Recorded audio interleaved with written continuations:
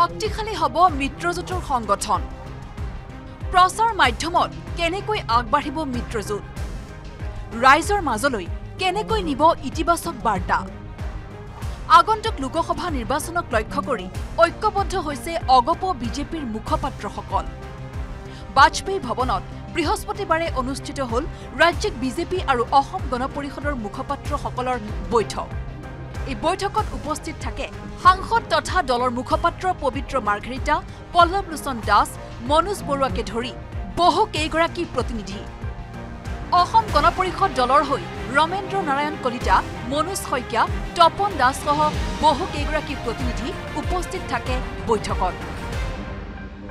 ভাৰতীয় জনতা পাৰ্টি অসম গণ পৰিষদ আমি যৌথভাৱে কাম কৰি আহিছোঁ বিগত সময়ছোৱাত আৰু এই যি আমাৰ যৌথ প্ৰচেষ্টা এই যৌথ প্ৰচেষ্টাক আৰু অধিক শক্তিশালীভাৱে আৰু বিশেষভাৱে যিহেতু লোকসভা নিৰ্বাচন সমাগত গতিকে এটা সংঘবদ্ধ প্ৰক্ৰিয়াৰে যাতে গোটেই বিষয় বস্তুসমূহ আমি ৰাইজৰ ওচৰলৈ লৈ যাব পাৰোঁ জনসাধাৰণৰ ওচৰত উত্থাপন কৰিব পাৰোঁ তাৰ কাৰণে বিভিন্ন বিষয়ত আমাৰ ৰণকৌশল আমি নিৰূপণ কৰিছোঁ। মিত্ৰজোঁটৰ সংগঠন শক্তিশালী কৰিবলৈ এই সভা অনুষ্ঠিত কৰাৰ লগতে চৰকাৰৰ পদক্ষেপসমূহ মানুহৰ মাজলৈ কেনেকৈ লৈ যোৱা হ'ব সেয়াও আলোচনা কৰা হয়। কেৱল আমি ৰাজ্যিক পৰ্যায়তে নহয় পৰৱৰ্তী সময়ত আমি ইয়াত জিলা আৰু বিধানসভা সমষ্টি পৰ্যায়তো এই গোটেই ব্যৱস্থাটো আমি সম্প্ৰসাৰণ কৰাৰ কথা চিন্তা কৰিছোঁ।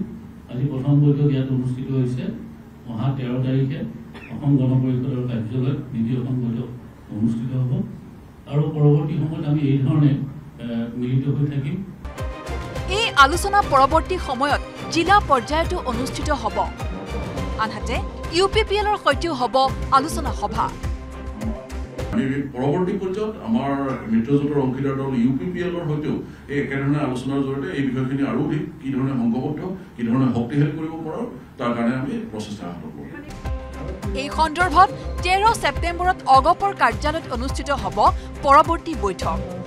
মৌচুমী শৰ্মা বৰুৱাৰ report news eighteen Assam north east.